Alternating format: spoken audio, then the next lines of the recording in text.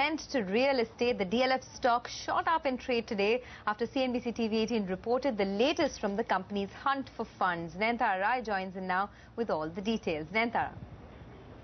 Well, the story we broke right here on CNBC TV 18, which was confirmed, I think, on the 8th of October by the management. What we're going to see are the promoters offloading 40% stake in their rental biz company, uh, which is DLF Cyber City Developers Limited.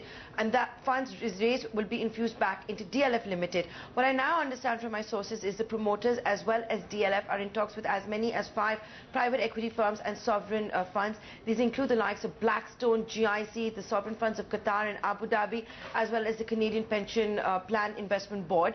Uh, the timeline that's been considered by both the promoters as well as the DLF Limited is uh, the end of this fiscal. That's by 31st of March is when they both are targeting to conclude this transaction with the clutch of uh, private equity firms or sovereign funds.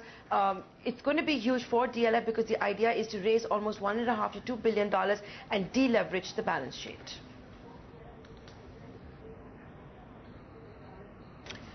Well, uh,